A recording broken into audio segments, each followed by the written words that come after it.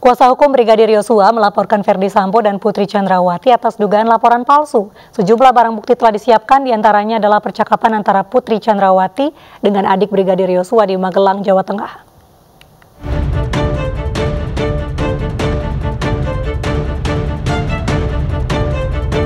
Kuasa hukum Brigadir Joshua Kamarudin Simanjuntak mendatangi gedung Bareskrim Polri pada Jumat 26 Agustus 2022 Kedatangannya untuk melaporkan Ferdi Sambo dan Putri Chandrawati atas dugaan laporan palsu.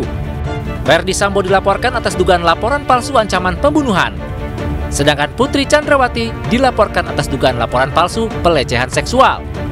Pada hari ini kita mau bikin laporan polisi terkait dengan uh, pembuatan laporan palsu. Kaitannya dengan pasal 317 318 KUH pidana, junto pasal 55 556 KUH pidana.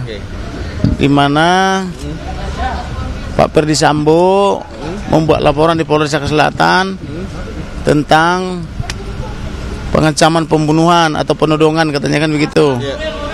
Demikian juga Ibu Ibu Putri membuat laporan polisi juga bahwa dia korban pelecehan dan atau kekerasan seksual.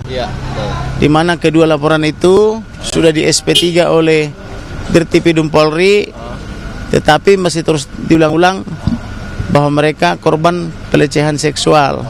Oleh karena itu supaya ada kepastian hukum, kami membuat laporan polisi sore ini.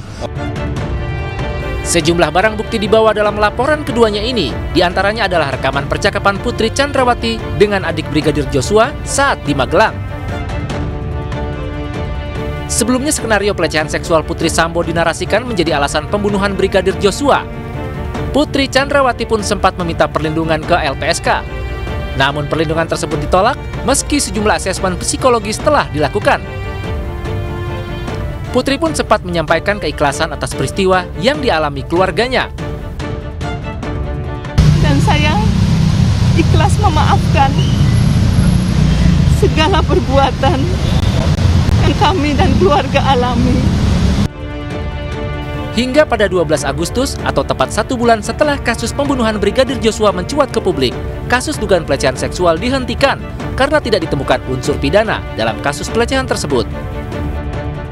Berdasarkan hasil gelar perkara tadi sore, kedua perkara ini kita hentikan penyidikannya karena tidak ditemukan peristiwa pidana.